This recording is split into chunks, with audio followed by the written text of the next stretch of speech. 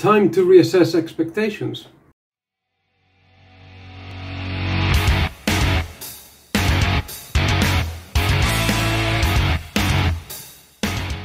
Hello, good morning, good afternoon, good evening, wherever you are in the world. It's Jose here, as usual, welcoming you back to another episode of Amazing Worlds in this very hot summer's night eve, talking about Summer's Knight by Jim Butcher, which is book four in the Dresden Files series, uh, which I am reading as I'm gonna feel like it, to be honest. So, what have we got here? We have a continuation of the events that um, we left Harry Dresden in book three. So, after the whole palaver with the court of vampires and the werewolves and everything that happened in book three, here we are right in the aftermath. Harry is wanted by the court of vampires. They are pining for his blood, quite literally and metaphorically. He is guilty of stuff. They want him dead. The court of wizards, they don't like Harry. They are quite willing to hand him over and, you know, be left alone and not get involved in vampire business. However, however, issues in the world of fairy, in the fairyland, there's a battle going on between the fairies. And the wizards need safe passage. Some mysterious, attractive woman asks Harry to find out who killed someone that stole something that is a mystery, what they stole, and Harry can't say no. So the plot moves at breakneck pace. Every ending of every chapter, Harry is being attacked by some new creature, by some new entity. Long lost girlfriends come back. Are they there? Are they no? Are they betraying him? Are they no? It's all happening. It's undeniable that Butcher can spin a yarn and keep you really engaged and interested. And the way I see the Dresden Files are sort of palette cleansers between other books, which is something that I was feeling about. And then I was watching a conversation between Chas from Bookish Chas and Baron from Your Brain and Books. And, and Chas mentioned that, and I totally agree with him. I don't particularly rate these novels, but they're good entertainment uh, in between deeper, bigger series. Now, highly entertaining, like I said. However, it is not without without its issues, but I think the issues may reside with me. Problem is the way I envisioned, I envisaged Dresden Files was kind of a, a more sort of hard-boiled noir crime kind of stories with a sprinkle of magic to keep things interesting, new, and engaging. But they really aren't. Um, either Jim Butcher is not very good at writing a crime thriller, or he actually doesn't want to do that. And maybe Harry isn't actually a detective.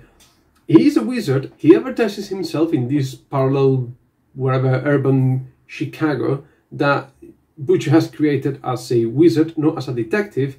But it's but the books are full of the crime 30s noir tropes.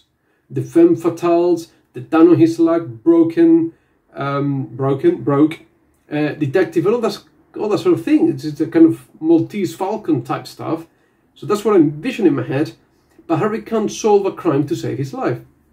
And a recurring cliche in these stories is that in every single book I've read so far, which is only four, Harry has to resort to some sort of otherworldly entity, has to perform some summoning spell to bring some, like I said, otherworld entity spirit to tell him what is actually going on because he doesn't know what's going on. And it's some kind of perhaps clever way of doing exposition and info dump on the reader through Harry, but Harry is not a very good detective. He doesn't know what's going on. And in this book here, the whole suspense bit, who's done the murder and why and what for and what the reasons are. Maybe I'm too stupid. I couldn't figure it out. I couldn't see it coming. Maybe the clues were there, I didn't pick on them, I don't know. But maybe, perhaps, that's not the point of these books. Uh, the, the overall plot of the series seems to be getting more convoluted. It looks like potentially we're moving to a major confrontation and conflict between the vampires and the werewolves and the wizards. Um, so that's all right. I mean, no rush to read them at all. But on each in each book individually, there is very little sort of that sort of crime thing I was looking for, more of a roller coaster, non-stop thriller type thing. That, that's maybe what the books are, and maybe I should have adjusted or I should adjust my expectations now, and um, leave it at that.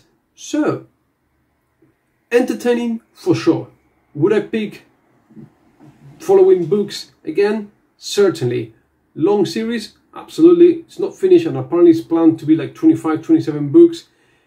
It'll probably take me five or seven years to read them all because I cannot see myself picking one after the other. I can't. Allegedly, book 10 or book 12 uh, is really good and fantastic, so some people say, but I'm in no rush at all to get there. I may pick another Dresden Files book this year at some point, maybe, certainly one next year, but I've got other plans, I've got other ideas in mind that I'll be talking about in my next video when I do my six month half year uh, checkpoint review thing, um, which will be by the end of June next week, hopefully. So until then, thank you ever so much for watching, everyone. Like, subscribe, comment, let me know what you think, let me know your take. If you ever feel like you want to get in touch, have a live conversation, live discussion, I'm always, or I try to be, as available as possible to engage in exchange of opinions and ideas, particularly if we disagree on something. Um, I'll leave my Instagram and email in the description below. Take loads and loads of care, and I'll see you soon. Bye.